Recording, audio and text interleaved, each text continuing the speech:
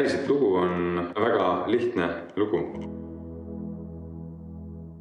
iga rida selle loo tekstis kõneleb asjadest äh, otse ja ausalt, midagi peidetud seal ei ole.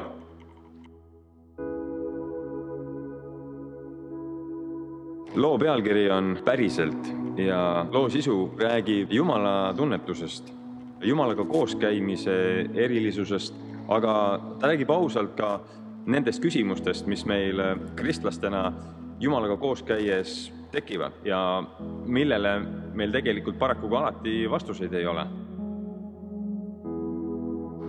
et selle päriselt loo sünd oli selline kuidagi loomulik, et äh, Püha Müristus oli sellel ajal suhteliselt äh, niisugune lapseheas bänd veel ja ja loo sündimine ei olnud kuidagi seotud selle videoprojektiga, mis meil tol ajal nagu plaanis oli aga ta sündis äh, selliselt loomulikult igapäevaelu elades, äh, jumala teemade peale mõeldes, palvetades, äh, jutlusi kuulates ja, ja, ja ka mujalt inspiratsiooni saades.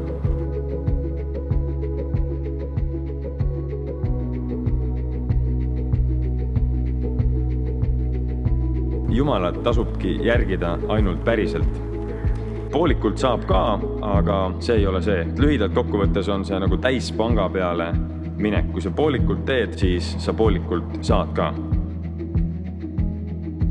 kirikus käia ja, ja kristlastest sõpradega nüüd ägedalt aega veeta, seda saab ka niisama ja, ja mõnes mõttes saab seda nagu ilma Jumalata ka.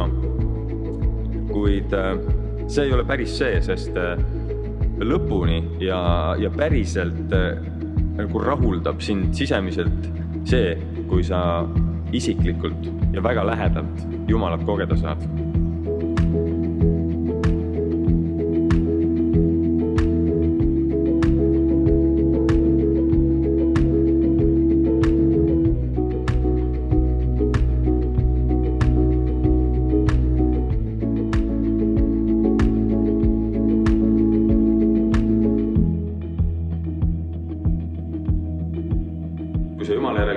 sa lähed läbi erinevatest aegadest. on, on hetki võib-olla, kus sul on väga raske ja, ja perioode, kus on väga keeruline. on aegu, kus vastupidi, kõik on fantastiline ja võiks öelda isegi, et eepiline. aga eepiline ei saa olla nii-öelda püsiv või pidev seisund. meil on mõnikord on selline mõte või, või tunne, et, et kogu aeg peaks olema eepik, eepik või eepiline. aga kogu aeg ei saa seda olla, sest et kui pidev seisund oleks eepik, siis, siis seda epikut tegelikult ei oleks üldse olemaski ja on aegu, kus, kus sa Jumala järel käies pead hoidma Jumalast kõigi oma kümne või kahekümne küünega kinni, lihtsalt rippuma Jumala küljes. sest sa tead, et äh, Jumal hoiab sinust kinni. ta ei lase sinust mitte kunagi, mitte mingilgi põhjusel lahti, ta ei hülga sind. ühel väga lihtsal põhjusel. Jumal armastab sind ja ta armastab sind täiega päriselt.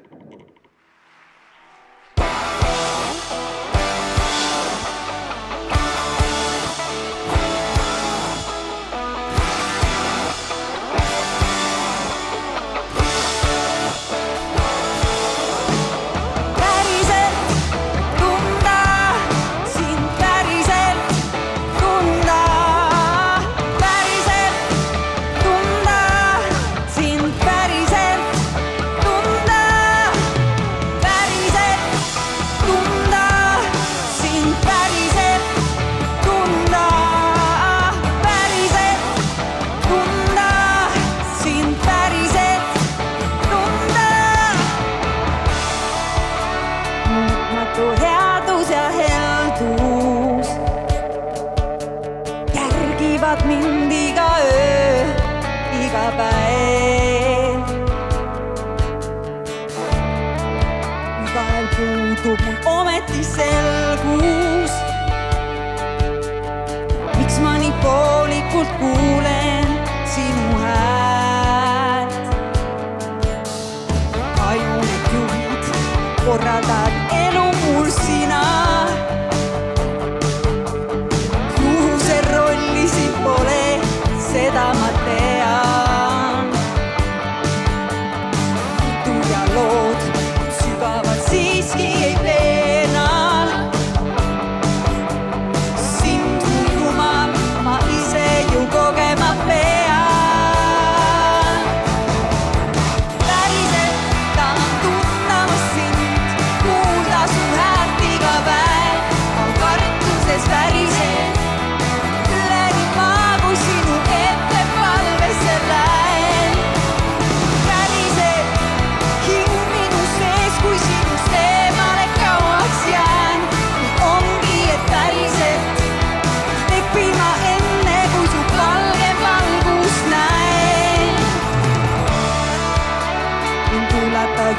teostjan laulda.